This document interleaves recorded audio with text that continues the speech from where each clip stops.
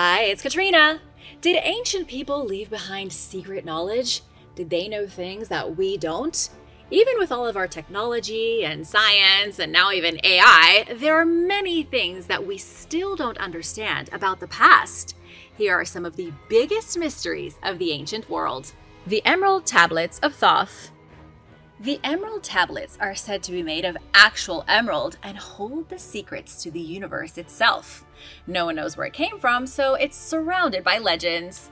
It's believed that whoever has the emerald tablets in their possession has unimaginable power. The tablets are covered in ancient esoteric texts that have intrigued philosophers and practitioners of the occult for centuries. But are they real, and were they written by a god?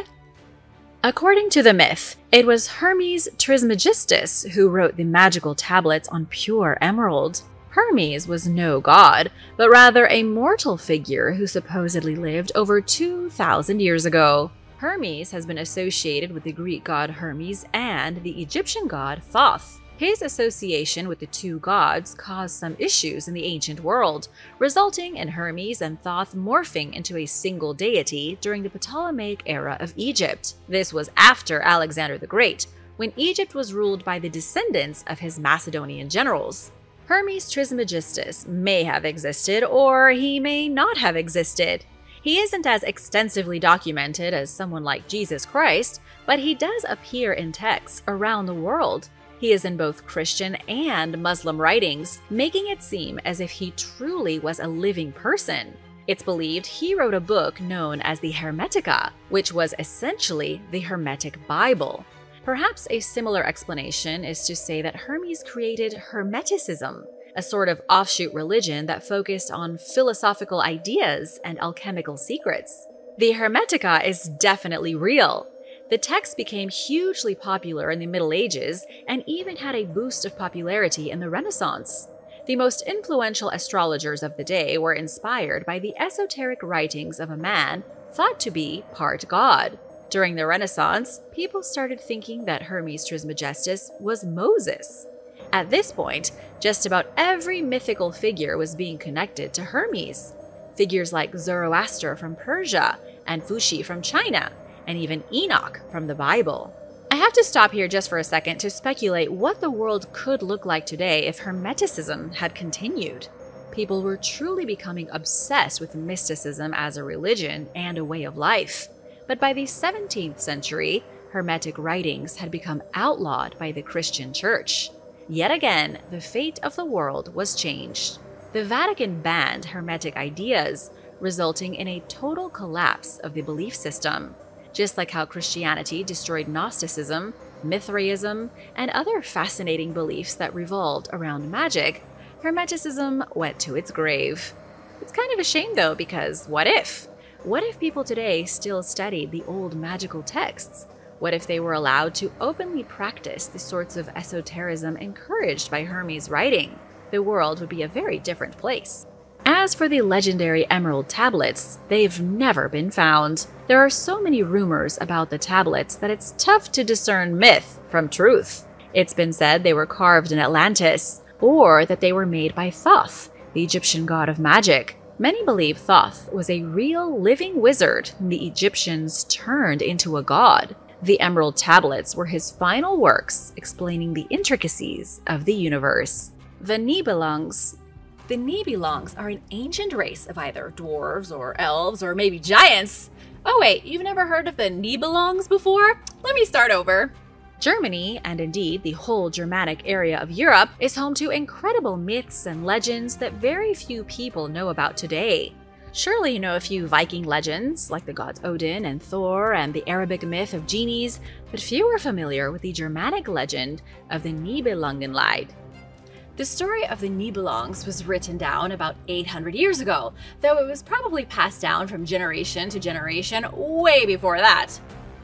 The story revolves around a mighty prince and a race of mysterious creatures that may have really existed. Prince Siegfried stumbled upon a group of horrible creatures called the Nibelung on one of his adventures. They were a race of clever, greedy, and surprisingly vicious dwarves, or giants. Whether they were unusually small or ridiculously big depends on which version of the legend you want to believe. Big or small, the legends all agree that the Nibelungs were collectors of great wealth. Siegfried, a descendant of the Old Norse, tried to take the treasure from the creatures and was brutally murdered for it. But I mean, what did he expect to happen? You can't just walk into a dwarf or a giant lair and pillage their treasure without facing consequences. After the hero was killed, the Nibelung went on with their business. Then, around the 4th century, they were destroyed by Attila the Hun. It sounds like just another fairy tale dreamed up by medieval Germans. But what if it's not? The tale is also told in Iceland and was a favorite of the Norse in Europe. The term Nibelung appears in some rather unexpected places, including in a Latin poem written around the year 920.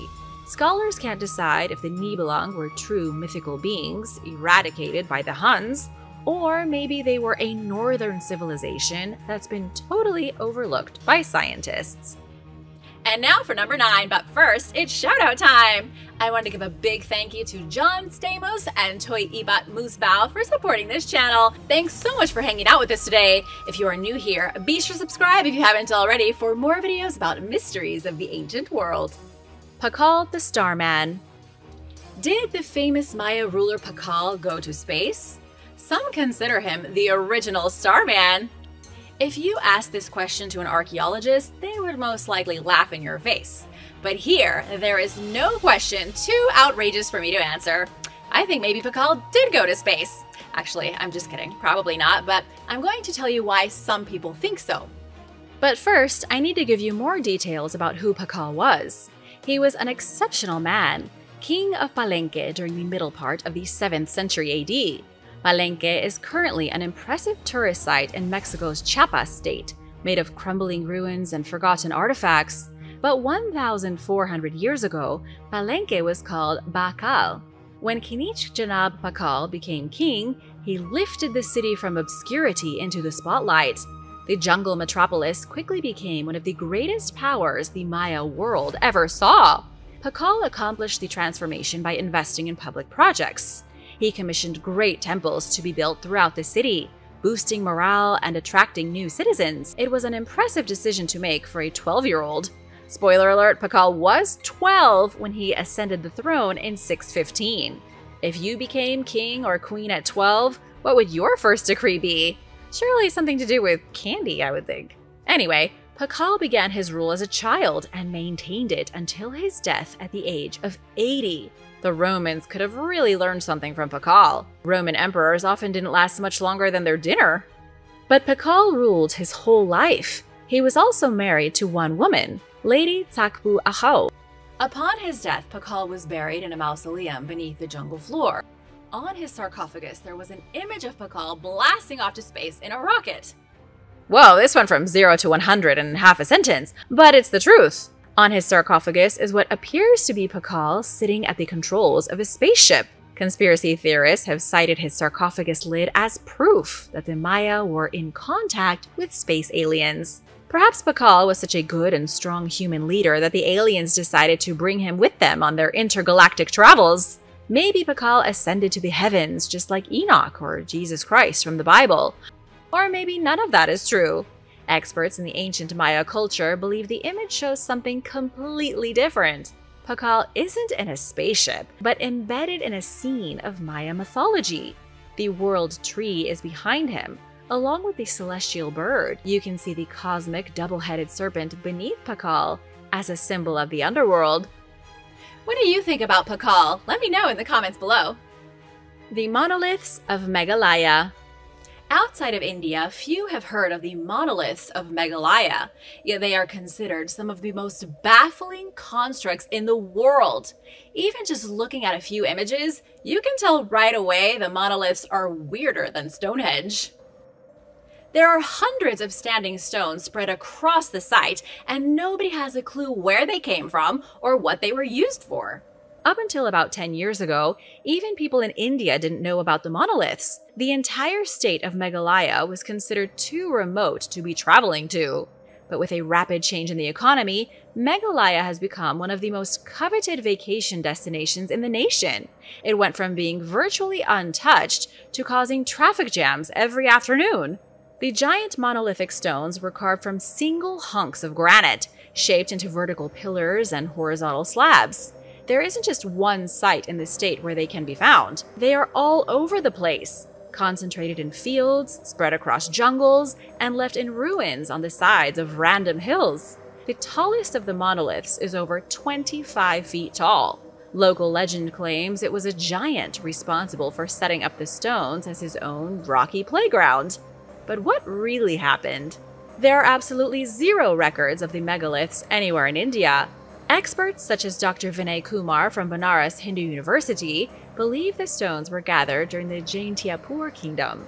The kingdom stretched across the hills of Meghalaya into Bangladesh 500 years ago. It existed until around 1835, when the British arrived and banished the Jaintia king into exile. Dr. Kumar believes the Jaintia people built the stones in commemoration of the dead. They either served as tombs or as humongous grave markers.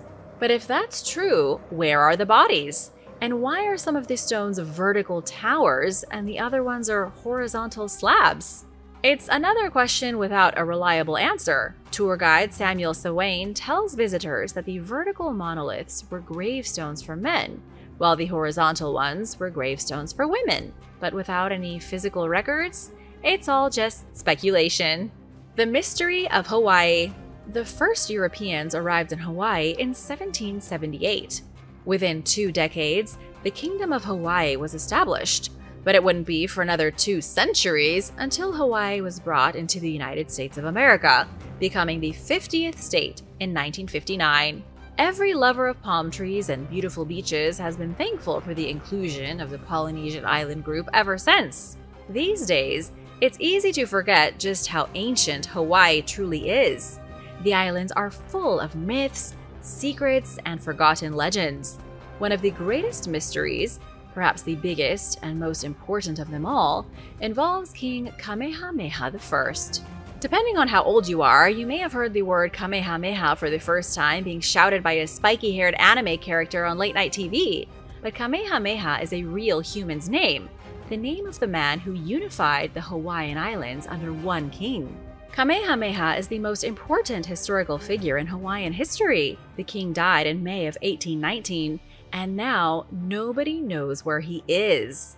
His bones are somewhere, presumably still in Hawaii, but where have they gone? For ancient Hawaiians, burials were extremely important events. The same can be said for many cultures around the world. But Hawaiians were particularly secretive when it came to the funeral rites of ruling chiefs and kings. First came a ceremony in which the body was prepared for the afterlife. This was pretty gruesome, even more gruesome than being a modern mortician. Using primitive tools, the flesh was removed from the bones. Once the bones were picked clean, it was time to stash them in a secret location that nobody would ever find. When night came, after King Kamehameha's bones were prepped, his trusted lieutenants, Hoapili and Hoolulu, took his remains to a hiding place and left them there. They most likely left the bones in a cave, or maybe they buried them somewhere near the coast. It was absolutely imperative that the bones be hidden. Otherwise, the king's spirit would never transition into the Hawaiian realm of the gods. It's been over 200 years now, and Kamehameha's final resting place is still a secret. Many have tried to find it, and there has been a lot of speculation. It's suggested his bones could be stashed somewhere near Kaloko-Honokohau, where previous chiefs were buried, but nobody has found the king's remains. What do you think? Should we leave him alone or should people keep looking? The Dancing Plague. Have you ever partied so hard that you almost danced yourself into an early grave? For the residents of Strasbourg in July 1518, they did dance themselves into the grave. The people of this medieval city came down with boogie fever, and scientists have never been able to explain it. Wait, boogie fever is real? It sure is, but this particular case is known as the Dancing Plague of 1518. The city of Strasbourg was part of the Holy Roman Empire then. It all started when a woman named Frau Troffea stepped into the street and began to dance to an invisible beat. She twisted, twirled, and shook what her mama gave her, but then she didn't stop. All by herself, without a trace of music to be heard, Frau Troffea danced for almost a week. Then her backup dancers arrived. After a solo that would put guitar superstars to shame, three dozen other locals started dancing in the streets. Frau Troffea soon collapsed, her heart no longer beating. One by one, her backup dancers all fell to the ground, danced to death. By the time July was over, about 400 people had boogied, jived, and grooved until their hearts gave out and they died on the spot. Physicians were baffled. Locals who weren't afflicted by the gyration sensation couldn't understand what their previously normal neighbors were doing. Can you blame them? What would you think if hundreds of people took to the street and danced like maniacs for weeks at a time? The best guess medieval scientists could come up with was that they had hot blood. The only viable solution that doctors could see was that people needed to dance until their blood cooled down, or they died. To help shake the boogie fever that so many were afflicted with, a stage was constructed. Professional dancers were brought in from across the realm. The town hired a band so that people could dance to actual music. Sadly, the effort was for nothing. Dancers had strokes and heart attacks. The stage only gave dancers a place to die. The music simply gave them a lovely tune to spend their final, flailing moments dancing to. August ended and a cold September began. Priests gathered to pray for the absolution of the townsfolk's souls. Everyone who was left dancing was dragged away to the mountain top, and it's believed they all died there. You might be thinking that I'm joking, right? There is no way a dancing plague killed hundreds of people. It's too ridiculous. But I'm telling you right now, it's 100% true. There are a lot of historical records to prove the event took place. It isn't even the only time it happened. Dancing plagues swept through Germany, Holland, and Switzerland in the Middle Ages. It's just that what happened in Strasbourg was the most brutal incident of them all. Historian John Waller has traced the plague back to St. Vitus. He supposedly had the power to curse people to die from dancing fever. John doesn't think the Catholic saint legitimately cast a curse. Instead, it could be that the horrors of being alive in the 16th century, combined with the superstition surrounding St. Vitus, caused all of Strasbourg to become hysterical. The event has been compared to what happened in Salem with the hysteria of the witch trials. There is one other possibility. It's been suggested the people of Strasbourg accidentally ingested ergot, a toxic mold that grows on damp rye. Ergot is notorious for causing hallucinations and spasms. The whole town could have had a shared psychedelic trip and spasmed themselves into the afterlife. Ancient artists. In the Middle Ages, people believed in unicorns. If you were an ordinary peasant with a pitchfork and sickle and maybe an unlit torch at home waiting for a mob to form, you thought unicorns were real. You certainly had a good reason to believe such a mythological creature once walked the earth. In central Germany, there is a cave filled with unicorn bones. Unsurprisingly, it's called Unicorn Cave. What else would you call a cave full of unicorn bones? For centuries, humans have been returning to the dark cavern and marveling at the incredible bones scattered across the floor. It wasn't until modern times that scientists confirmed, once and for all, that the bones do not belong to real unicorns from a fairy tale. The bones are from giant deer and other huge prehistoric creatures. People didn't know any better in the Middle Ages, though. If they saw the skull of a woolly mammoth, they assumed it was the skull of a cyclops or a giant. You can't really blame them for that, right? They didn't have Google to identify all the weird skeletons that they found. Plus, people's imaginations can run wild, and that's not really a bad thing. Being imaginative is what makes people people. Speaking of people, the German cave was home to a lot more than just prehistoric deer. A recent excavation revealed the toe bone of an ancient animal that had been carved with strange symbols. When scientists from the local state government analyzed the bone, they found it was from 51,000 years ago. All those years before today, Unicorn Cave was occupied by Neanderthals, our mysterious ancient cousins. The toe bone, which happened to come from a giant deer, previously believed to be a unicorn, is now thought to be the oldest symbolic object ever found. According to archaeologist Dirk Leder, the meaning of the object is lost to time. It may have been used to communicate with other members of the group. It could have been used for beseeching spirits for help. There's just no way of knowing. One of the greatest mysteries that scientists are still hopeless to solve is the emergence of art and abstract thought in the human brain.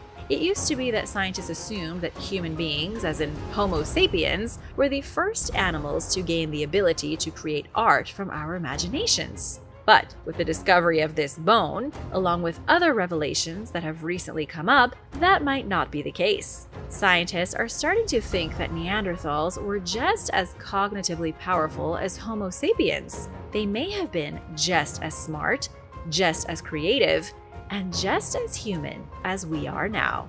The reptilian race. Since the beginning of human civilization, cultures have been obsessed with reptilians. Tales of evil serpents and powerful snakes have pervaded just about every mythology on the planet. Could this be due to one simple fact? Are our fates as humans dictated by a race of reptilians who have been controlling us since the very beginning? It sounds crazy without evidence, so get ready for some evidence. I'm going to take you through ancient cultures who all trace their origins back to a mysterious snake, starting with the Mesoamericans. The Aztec worshipped a deity named Quetzalcoatl. His name comes from the ancient Nahuatl language spoken in Mexico. It roughly translates to mean feathered serpent. Quetzalcoatl was the mighty god of the Aztec, but his origins go back way earlier. Quetzalcoatl was worshipped as a feathered snake deity by the lost culture of Teotihuacan 2,100 years ago. 800 years before that, a serpent god was worshipped by the Olmec of Mexico's southern jungles. The earliest known depiction of the snake god in Mesoamerica is from 900 BC. It was discovered at the abandoned Olmec city of La Venta, carved onto a giant rock. For the various cultures of ancient Mexico, the feathered serpent was responsible for the creation of all humanity. The Maya called him Kukulkan, though he was essentially the same as Quetzalcoatl. They also sometimes called him the war serpent. Now, there is perhaps no place that a serpent is more famous than in the Bible. The book of Genesis is where you can find the story of the serpent tempting Eve with the forbidden fruit.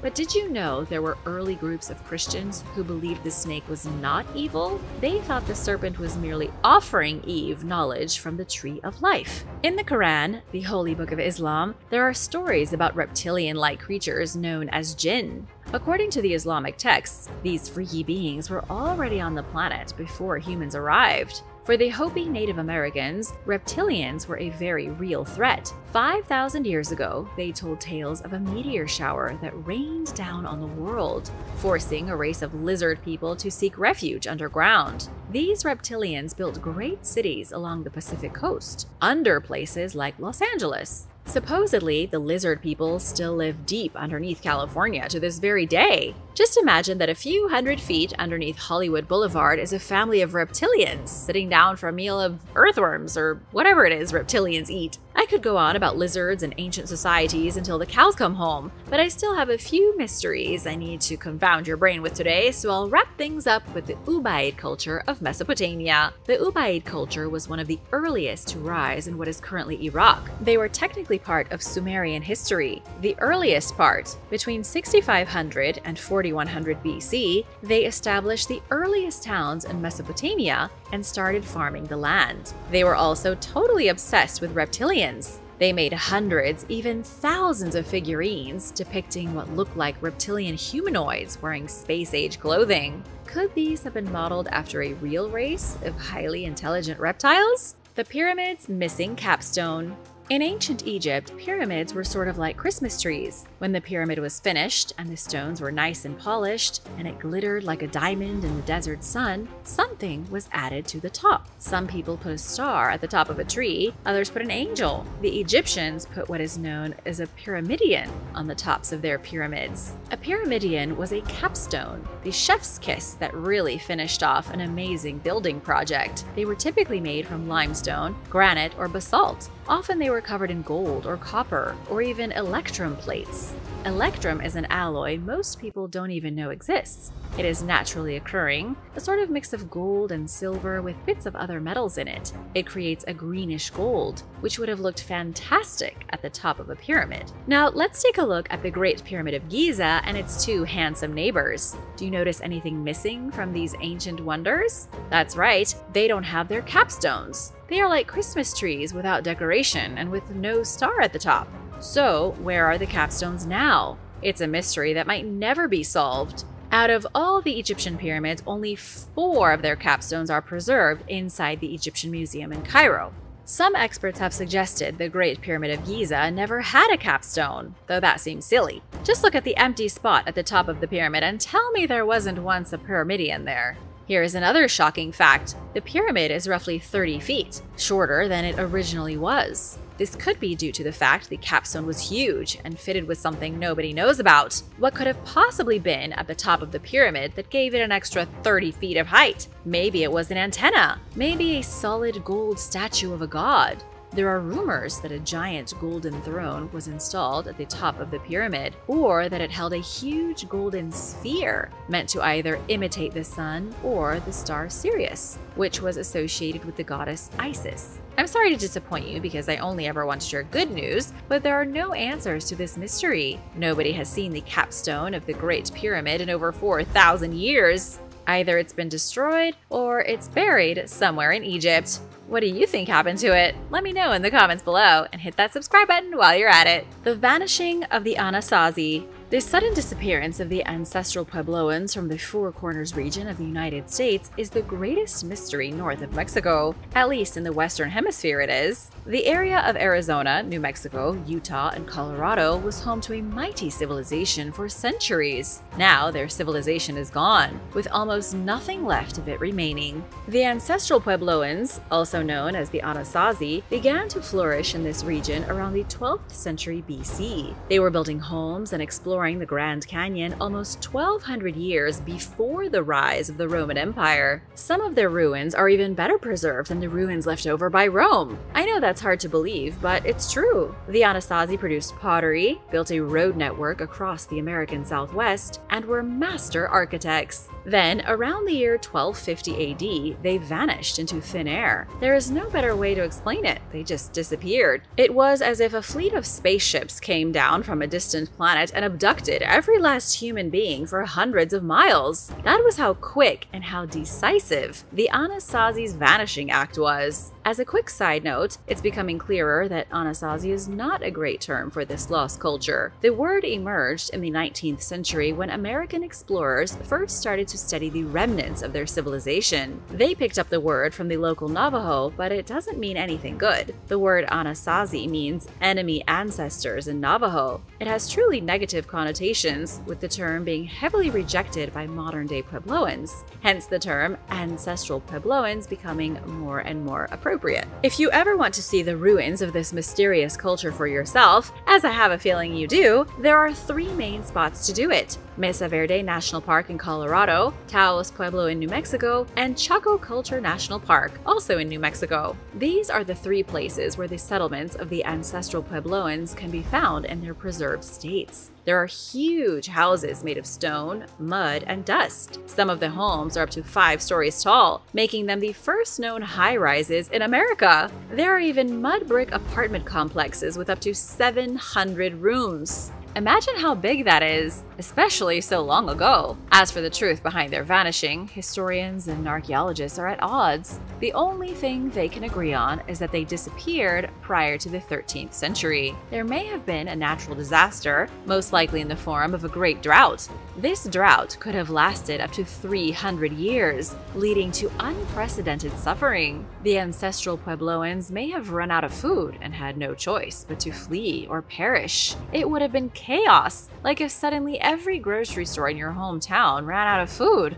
Whether it was drought or a disease or a combination of everything, we still don't know. The Lydian Stater if you happen to have some change in your pocket, take a coin out and give it a good look. Who in the world decided money would be distributed as small circles of thin metal? Unlike some mysteries of the ancient world, this one has a reliable answer. That coin you have in your hand, or the one you're holding in your mind's eye because it's 2024 and a lot of people don't have change anymore, came from an idea around 2,700 years ago. The Lydian stater was the official coin of the mighty Lydian Empire. I can already feel you have questions, but bear with me a moment. The earliest of these coins were created in the 7th century BC under the rulership of King Alyattes. All records point to the Lydian stater being the first coin issued by official decree by any government. If correct, the Lydian stater was the beginning of nearly 3,000 years of trading coins for goods and services. To answer the question you had a second ago, the Lydian Empire was the dominant force in western Anatolia.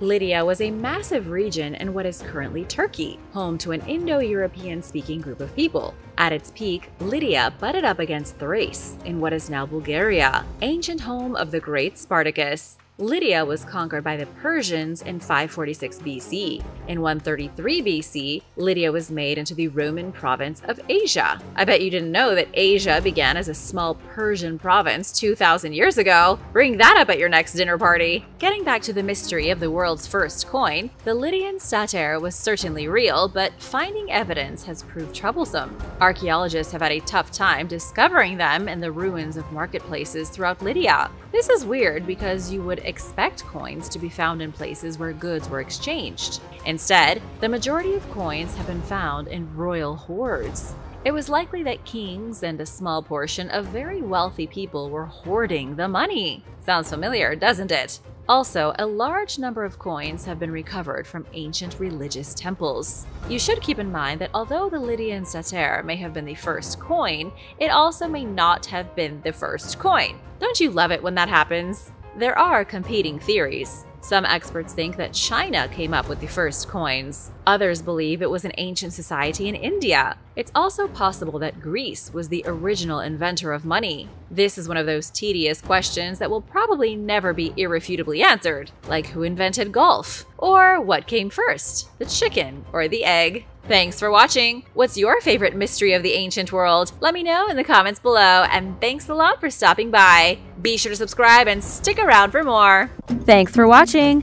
Be sure to stay tuned for extra content you might have missed. Secret Sphinx Doors For centuries now, rumors have swirled about hidden doors and chambers, treasure hoards, and other suspected secrets hidden inside Egypt's Great Pyramids and the Sphinx of Giza. While some of these theories were probably inspired by tall tales, even archaeologists are interested in getting to the bottom of the various mysteries. The 4,500 year old Sphinx made headlines in 2019 when a respected British historian named Bettany Hughes claimed that there are two hidden chambers beneath the monument that are worth investigating. Speaking with British papers, Hughes explained that ancient Egyptians feared and respected the Sphinx, and that they believed it had supernatural powers. At the base of the giant statue near its tail, there is a small deep hole that's typically kept hidden from public view. It could lead to one of the large chambers that some researchers believe exist below the monument, according to Hughes. She believes that any tunnels beneath the Sphinx could lead to a nearby pyramid where the pharaoh Khufu is entombed. Stories about a subterranean network of tunnels and chambers beneath the Sphinx were once limited to conspiracy theorists, but the evidence has caught the attention of seasoned professionals, and their willingness to look further into these claims could prove to be a game changer. What do you think is hidden under the Sphinx? Anything? Let me know in the comments below. Mysterious manuscripts. Throughout antiquity, parchment was sometimes in short supply, so people got as much use out of it as possible. Ink was even scraped from old manuscripts using chemicals or pumice stones, clearing the way for new text. These double-layered manuscripts are known as palimpsests, and their invisible lettering can teach us a lot about the ancient world. Did you know that? Palimpsests? Maybe that will come in handy for Trivial Pursuit or something. Julia Rossetto is a researcher who specializes in ancient texts. In 2016, a colleague gave her some images of a palimpsest that he was struggling to read. The visible text contained a collection of the life stories of saints written in 10th century Arabic. Beneath it were faint traces of Greek lettering. The photos were taken using a technique called multispectral imaging, which uses light and color to help distinguish between the two layers of writing. This didn't make the document easy to read, but it gave Julia a starting point for making the undertext more visible. She adjusted the lighting, contrast, and other elements of the pictures to hide the Arabic as much as possible and reveal the writing underneath it. Julia painstakingly identified the tiny letters, which were just 3 millimeters tall, and began to recognize names from classical Greek mythology like Zeus, Persephone, and Dionysus. Based on the style of the text, she guessed that it was written in Egypt during the 5th or 6th century. Her transcription turned up no matches to known texts, indicating that it was an unknown text being viewed by modern eyes for the first time. And it's just one of hundreds of manuscripts that researchers have deciphered in recent years, thanks to technology that enables them to peer below the surface in ways that only recently became possible. What other hidden knowledge do you think can be revealed like this? Let me know your theories in the comments. Vault B. Sri Padmanabha Swami is one of the most revered temples dedicated to the Hindu deity Mahavishnu. It was built during the 6th century in what is now the Indian state of Kerala, and it is famous for its extravagance and gilded decor. In 2011, retired Indian Police Services officer Sundarajan petitioned the Supreme Court for an audit of the temple's treasury. He suspected that the temple was in possession of unaccounted wealth and the court appointed a seven member committee to investigate. Inside the temple, the committee discovered six large unopened vaults, or kalaras, with iron doors. They labeled the vaults A through F and managed to open all except for the innermost chamber, Vault B. The other vaults contain diamonds, gemstones, necklaces, weapons, gold coins, and other treasures with a jaw dropping estimated value of $1 trillion. Vault B remains locked, despite the committee's best efforts to open it, leading many to believe that it's cursed. The door can supposedly only be opened by a high ranking priest known as a sadhus, who knows a special chant called the Garuda Mantra. But no modern priests know the chant, so there are evidently no plans to enter the vault, unless they want to destroy the whole thing. According to legend, a group of thieves tried to access the vault during the 1930s and were attacked by venomous snakes. The belief that opening the vault would bring bad luck became even stronger when the man who petitioned for the audit suddenly died. Auditor General Vinod Rai challenged these superstitions in 2015 when he claimed that Vault B had been opened numerous times since the 1990s without incident, but it remains closed in accordance with the wishes of devotees, temple officials, and the royal family. What do you think about this mysterious door? Let me know in the comments below. A forgotten port city. On July 21, 365 AD, a massive tsunami struck the coast of what is now Tunisia, wiping out most of the Roman port city of Neapolis. A soldier and historian named Ammian Marcellin wrote about the disaster, which also wreaked havoc on the Greek island of Crete as well as the city of Alexandria in Egypt. This is one of very few mentionings of Neapolis in ancient texts. During the Third Punic War, which lasted from 149 to 146 BC, the people of Neapolis sided with Carthage rather than Rome. The Romans won the war and took control of the city, and its conspicuous absence from historical records suggests that the citizens were punished for having supported the enemy. It left modern experts with little to learn from, especially since some of the settlement's ruins are buried beneath the modern city of Nabeul, Archaeologists began searching for submerged ruins in 2010, but it wasn't until 2013 that they finally found the section of Neapolis that had been sucked beneath the waves. The discovery came after a storm ravaged the seabed, revealing man-made stone structures including street signs and monuments. The ruins revealed previously unknown details about Neapolis and its role within the empire as a major trading hub, over 100 tanks that were used for making a fish-based fermented condiment called garum were found at the site, indicating that the city specialized in the production of the popular Roman delicacy. Based on this alone, Neapolis was undoubtedly one of the empire's wealthiest and most important commercial centers, and yet so little is known about it, since it was basically erased from the history books. What's in the Taj Mahal basement? Shah Jahan was the fifth Mughal emperor of India, who ruled from 1628 to 1658. He brought the empire to its peak, ushering in the golden age of Mughal architecture with the commission of breathtaking monuments. His most famous building, the Taj Mahal, sits on a 42 acre plot in the modern day Indian city of Agra. It was built in 1632 in honor of Shah Jahan's beloved wife Mumtaz and is the couple's final resting place.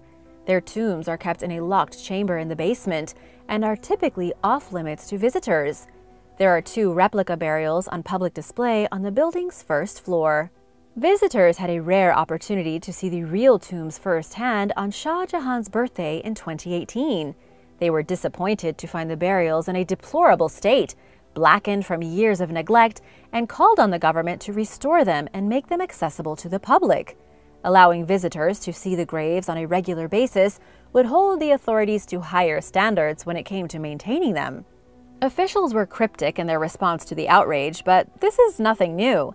In fact, people have voiced numerous concerns about the Taj Mahal, only to be more or less stonewalled by the government. Many suspect that the monument was built on the site of a former Hindu temple and that the basement contains Hindu artifacts and artwork. In 2019, Parliament member Subramanian Swamy claimed that these objects had been removed from the property years earlier. He also said that he had documentation proving that the Taj Mahal was built on stolen Hindu property.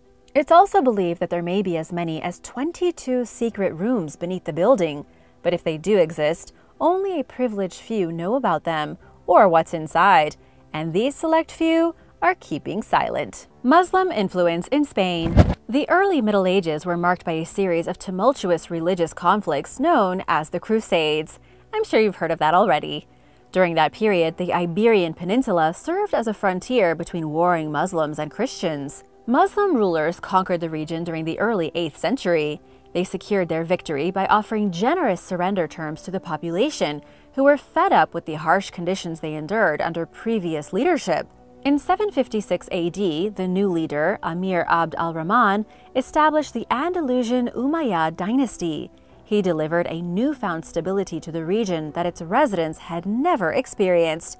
The emperor strengthened the region by unifying the various Islamic groups that had conquered Spain, bringing an unprecedented level of power to Muslim rule. Over the next several hundred years, the area became home to one of the greatest Islamic civilizations of all time.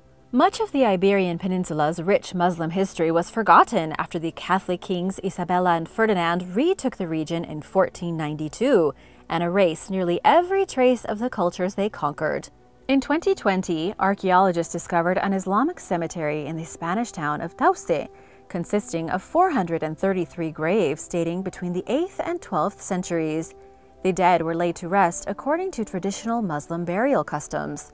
It's clear, based on the evidence, that there was a strong Islamic presence in the town for several centuries.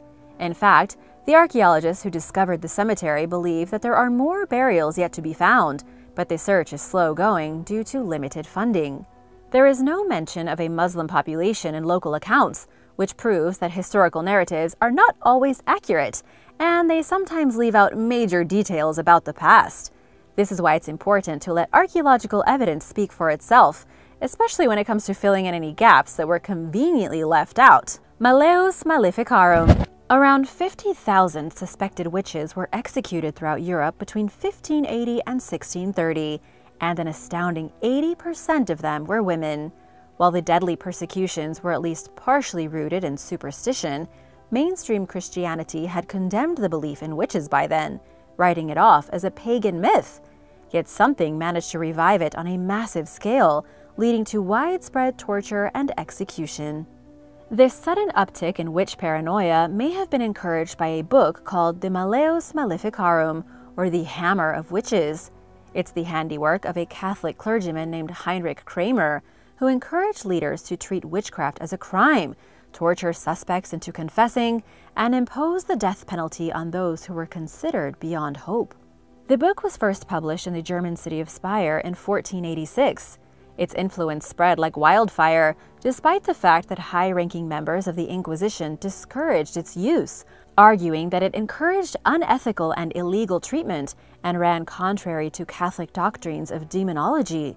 Royal courts of the Renaissance treated the Hammer of Witches as a guidebook on how to treat suspects, and these methods became increasingly brutal during the 16th and 17th centuries. Kramer certainly wasn't the first writer to encourage witch hysteria in medieval Europe, but he was arguably the most influential. Before he wrote the book, he had tried unsuccessfully to prosecute alleged witches in the city of Innsbruck. A local bishop asked Kramer to leave the area after noticing the man's obsession with an accused witch's sexual habits. The suspect was acquitted. Many believe that Kramer wrote the Malleus Maleficarum to get revenge on those involved in his failed witch trial. After all, even if he believed that witchcraft was real, his motives seemed personal, and it led to the unspeakable suffering and deaths of tens of thousands of innocent victims. King Solomon's Treasure Israel's third king, Solomon, reigned from 965 to 925 BC. He was one of the richest men of all time, profiting immensely from the gold trade and other commerce, as well as taxes and tributes that he collected from his subjects. The empire prospered under Solomon's leadership, which saw the construction of magnificent palaces and fortresses. According to the Bible, the king accumulated vast treasure, including more than 500 tons of pure gold, a 3,000 year old gilded box, musical instruments made from gold, precious stones, ornaments from the Garden of Eden, and the famed gilded chest known as the Ark of the Covenant. These items vanished when the Babylonians sacked Solomon's temple in 597 and 586 BC. Countless people have searched for the items, including both experts and civilians, but not a single trace of the items in the collection has turned up. A story written during biblical times called the Treatise of the Vessels claims that Solomon's treasures were stashed in various hiding places throughout the Middle East but the tale is a fictional piece that was written merely for entertainment, according to Professor James Davila, who translated the text in 2014. Archaeologists can't seem to agree on whether the treasure was stolen, hidden, or destroyed, or if it ever existed in the first place. British historian Ralph Ellis spent 20 years researching the topic and concluded that the story was misinterpreted.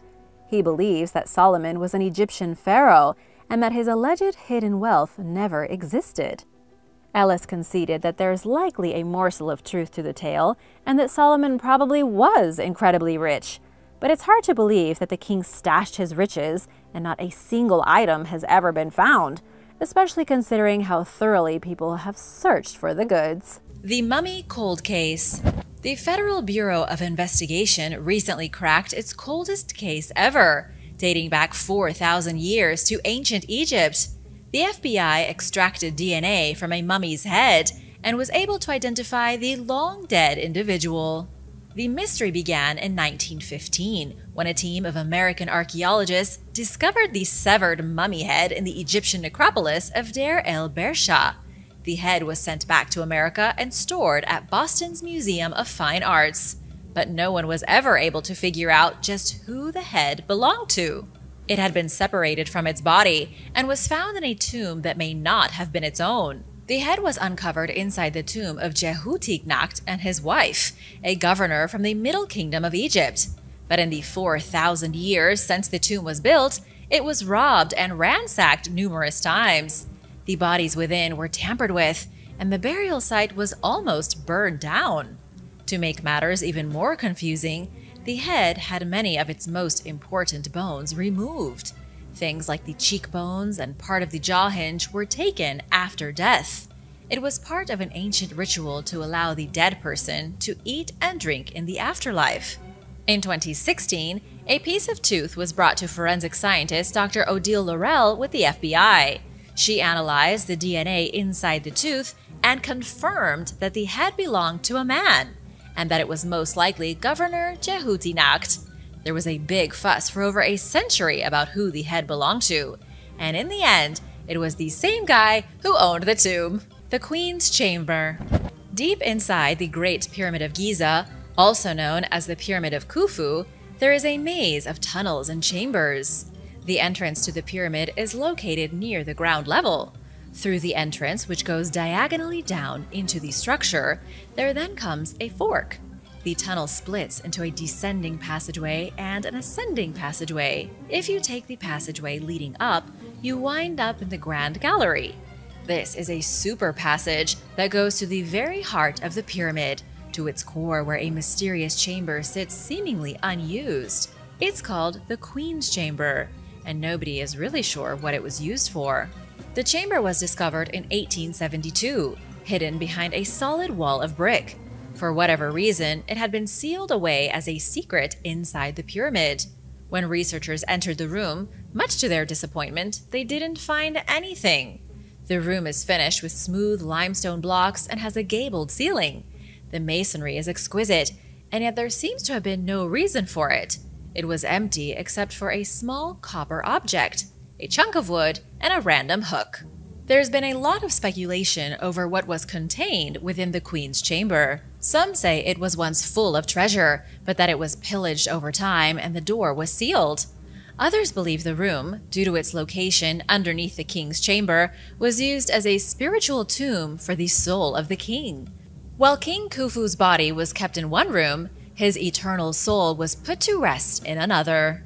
King Tutankhamun. Prior to 1922, no one believed the tomb of King Tutankhamun would ever be found. Back then, the boy king who ruled for less than a decade, 3,000 years ago, was more of a myth than a reality. The general agreement among Egyptologists was that every tomb in the Valley of the Kings had already either been discovered or looted and destroyed. It came as a huge shock when King Tut's tomb was finally unearthed under over 150,000 tons of rock.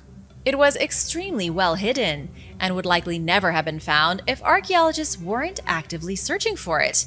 King Tut would probably still be resting in his grave right now. Even though the tomb was found filled with more treasure than you could carry out in a wheelbarrow, it had been broken into before. One of the little known facts about King Tut's tomb is that it had been robbed twice. It happened almost immediately after the burial. Looters had breached the door at the base of the stairs, taking a handful of smaller objects, and then fled. Ancient officials then sealed the opening, only to have it broken into a second time and more small objects stolen. The biggest mystery is trying to figure out when exactly the tomb became lost. Clearly, people knew about it in the years after Tutankhamun's death, but then, at some point in time, the tomb was forgotten, covered in sand, and buried under thousands of tons of rock. The secret entrance. The Great Pyramid of Giza was built around the year 2500 BC as a tomb for King Khufu. If true, that makes the pyramid little more than a gigantic tombstone, and yet it's also filled with strange secrets. Some believe there are mysterious tunnels underneath the Giza pyramids leading to unknown locations. Some think the three pyramids worked as huge batteries for charging alien spaceships. There is even a theory about a secret entrance hiding near the top of Khufu's pyramid that leads down into secret and undiscovered chambers. Recently, one of these secrets of the pyramid was revealed. An international team of researchers with something called the Scan Pyramids Project identified an empty space. They used special, non invasive scanning technology to look inside the structure. That was when they found a void hiding within the pyramid that doesn't seem to be attached to any known passage or chamber. This mysterious void is way above the Queen's chamber and next to the King's chamber. However, there appears to be no passage leading to it, and no way to get to it except for digging through with a jackhammer. It could be that this void was once reachable by a secret passageway, but that secret entrance has since been sealed. Nobody knows if there are bodies inside the chamber or if there was an engineering accident. All we know now is that there is a hole inside the pyramid, and we have no way of looking inside it. Caves under Giza. British explorer Andrew Collins believes there is a system of caves, tunnels, and hidden chambers hiding underneath the pyramids of Giza. Andrew claims that beneath the Giza Plateau is a lost underworld of the pharaohs, a world currently inhabited by colonies of bats and venomous spiders. Andrew claims that he uncovered the entrance to this creepy underworld after looking through the memoirs of British Consul General Henry Salt. Henry investigated an underground system beneath Giza in 1817 while traveling with the famous Italian explorer Giovanni Caviglia.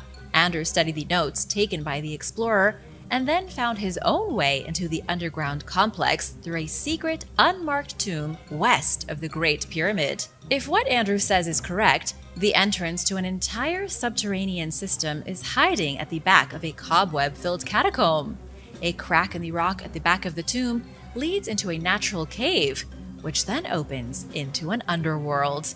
However, there are a lot of professionals who believe Andrew is making his story up. Zahi Hawass, the chief of Egypt's Supreme Council of Antiquities, dismissed the discovery as nonsense. He says there are no new discoveries to be made at Giza. Gabal el Haridi. Archaeologists have just made some amazing discoveries at the Egyptian site of Gabal el Haridi. Researchers found the remains of an old watchtower and an impressive 85 new tombs. The watchtower is a unique piece of ancient architecture. When it comes to discoveries in Egypt, people tend to focus on the tombs, the mummies, and the pyramids. But Egypt has lots of amazing architecture as well, just as impressive as the many wonders found throughout the old Roman Empire. This tower is an excellent example of that. The tower was a powerful fortification built beside the Nile River during the reign of Ptolemy III. He was the third ruler of the Ptolemaic dynasty after the death of Alexander the Great, ruling Egypt between 246 and 222 BC. The tower was used specifically for guarding traffic moving up and down the Nile and collecting taxes. Think of it like the toll booth on a bridge, forcing everyone who passed to pay a little bit of money to the government. Then there were the 85 tombs, each of which was carved into the side of a mountain. Some of the tombs were reserved for workers, and others were more complex, with multiple levels and various chambers. At least 30 of the chambers still had their death certificates preserved in stone. These ancient certificates detail the name of the deceased, their age, their place in society, and even the names of their parents. Forgotten Rituals Berenike was a Greco-Roman seaport built on the coast of Egypt's eastern desert. A recent archaeological dig here revealed a religious complex from the late Roman period between the 4th and 6th centuries AD. This was in the dying years of Egypt, when ancient Egypt was a thing of the past, and the nation was little more than a fractured state being fought over by multiple powers. The religious complex was excavated by researchers with the University of Delaware. Around the time the temple was built, the nomadic group known as the Blemmyes was trying to hold control over the region. These people had come up from Nubia and were hoping to secure a small piece of Egypt for themselves. The complex was already there, but the Blemmyes adapted it to their own belief system. What archaeologists found was a traditional Egyptian temple used by an invading force of Nubians for their own mysterious rituals. The team found 15 dead falcons inside the shrine, most of them decapitated. They also found the remains of eggs that had been buried within the temple. Then there's the mysterious stone slab with an inscription that reads, it is improper to boil a head in here. In other words, nobody was allowed to boil animal heads inside the temple. So, what were the falcons for? It's believed the Blemmyes had combined local Egyptian beliefs with their own, and that there was heavy worship of the god Khonsu here, the moon god often depicted as a falcon. Newly found tombs. More tombs have been discovered at the great necropolis of Saqqara, south of Cairo. That shouldn't come as a big surprise considering how many new tombs are being discovered here all the time. In this instance, five new stone burials have been found dating from between 2700 and 2055 BCE. They were uncovered near the less popular Pyramid of Merenre, which stands just over 150 feet tall and was built during the 6th dynasty. The five tombs are so wonderfully decorated that they are still full of color, Researchers say they likely belonged to top officials in the ancient Egyptian government. At least two of the tombs belong to women, with one of them being a priest of Hathor, the Egyptian goddess of fertility and love. Her name was Peti, and she must have been a very important person in society. She wasn't just a priest, she had some kind of influence within the government. It's also shocking to see that women could be priests almost 5,000 years ago in ancient Egypt. Lost Egyptian Sun Temples Archaeologists carrying out an excavation in Abu Sir, near both Cairo and Saqqara, recently discovered the ruins of an ancient temple. This temple is believed to be one of the four lost sun temples from Egyptian legend. The site of Abu Sir isn't quite as well known as many others in ancient Egypt, but it is hugely important. It's a necropolis from the Old Kingdom that served as a primary cemetery for the previous Egyptian capital of Memphis. So far, archaeologists have identified 14 royal pyramids, tombs from the 25th century BC, and now a mysterious temple. It was researchers from Poland and Italy who came across the newest discovery. They were excavating the temple of Pharaoh Nyuserre from the 5th dynasty when they found the remains of a mud brick building. The Egyptian Ministry of Tourism and Antiquities believes the mud brick building is the ruin of a sun temple. The sun temples were constructed during the 5th dynasty of the Old Kingdom, built across Egypt by six different pharaohs. Each pharaoh built their own glorious sun temple for the worship of the sun god Ra. As of right now, only two of the temples have been found. This newest discovery at Abu Sir could be the third, meaning there are only three left hiding somewhere in Egypt. However, it's in such a disastrous state, archaeologists haven't been able to confirm it as one of the legendary temples. Ancient mummification. Researchers have just made a shocking discovery regarding the history of mummies. It turns out the science of mummification in Egypt is 1,000 years older than anyone previously believed. The discovery came in 2019 when the mummy of a high ranking aristocrat was found in Egypt. The individual wasn't that important, but his mummification was. He is one of the oldest Egyptian mummies ever found, dating back to over 4,700 years ago. He was found wrapped in woven linen and smeared with fine resins. The linen and resin were hugely important because these particular materials were supposedly not used to make mummies until about 3,700 years ago. Up until now, researchers believed Old Kingdom mummification was extremely simple. There would be basic desiccation, no removal of the brain, only a couple of internal organs taken out, and very little detail paid to the exterior of the mummy. But this newest mummy was totally unique, covered in resins and textiles as if it had been made 1,000 years later. The person inside the wrappings was named Khuwy, and he was found buried in Saqqara. With this new information, archaeologists believe history books about the mummification process will need to be rewritten. Thanks for watching! What's your favorite part about ancient Egypt? Let me know in the comments below, and remember to hit that subscribe button if you haven't already. See you soon! Bye!